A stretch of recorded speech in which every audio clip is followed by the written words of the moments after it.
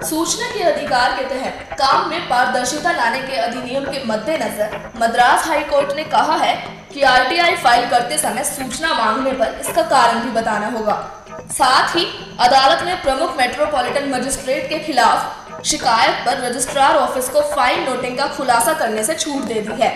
आपको बता दें हाईकोर्ट के इस फैसले से आरटीआई कानून के तहत सूचना हासिल करने के अधिकार पर दुर्गामी प्रभाव पड़ने के आसार हैं। इसकी आलोचना कानून के विशेषज्ञों ने भी की है।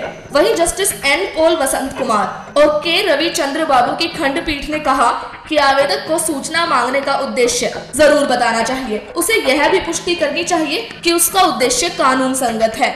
बताते चले पीठ ने कहा कि अगर सूचना किसी एक व्यक्ति को दी जाती है जिसके पास इसे मांगने के पीछे कोई वजह नहीं है तो इस तरह सूचनाओं के पर्चे बांटने से किसी उद्देश्य की पूर्ति नहीं हो सकती। नेक्स्ट नाइन न्यूज़ के लिए चीनू की रिपोर्ट।